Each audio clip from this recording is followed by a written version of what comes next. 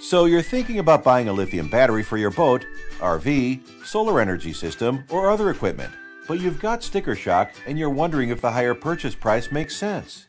Aside from many other advantages, lithium batteries have longer lifetimes, which makes for far less frequent battery replacements and service calls. This attributes to them actually costing less than lead acid batteries over their operation lifetime. So you pay more initially, but pay less over the life of a lithium battery. Here's how. Let's compare the total cost of ownership of a Relion RB100 lithium battery to three competing lead acid technologies flooded lead acid, or FLA, AGM, and gel.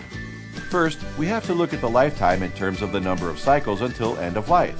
Let's take end of life to be when a lead acid battery fails to deliver 50% of its initial capacity and 70% for a lithium battery. What's the estimated cycle life of each battery? 500 cycles for FLA, 400 for AGM, 1000 for gel, and a whopping 7,100 cycles for lithium. Now, let's take into account other important factors, such as the initial cost of the batteries. An FLA battery costs $185, $270 for AGM, $400 for gel, and $1,050 for lithium. Don't worry, we're not done yet. Add in expenses for installation and replacement labor. For this, we assume $25 per hour. Maintenance costs at an assumed $10 per hour. Plus, charging costs for each technology at 12 cents per kilowatt hour.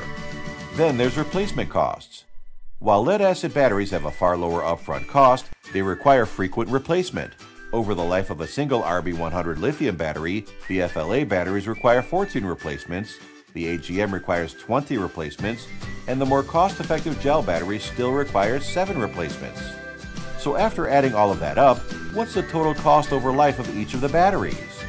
$5,005 for FLA, $7,775 for AGM, $4,435 for gel, and $1,925 for a RB100 lithium battery, making it 51% less than the gel battery, the most economical of the three lead acid batteries.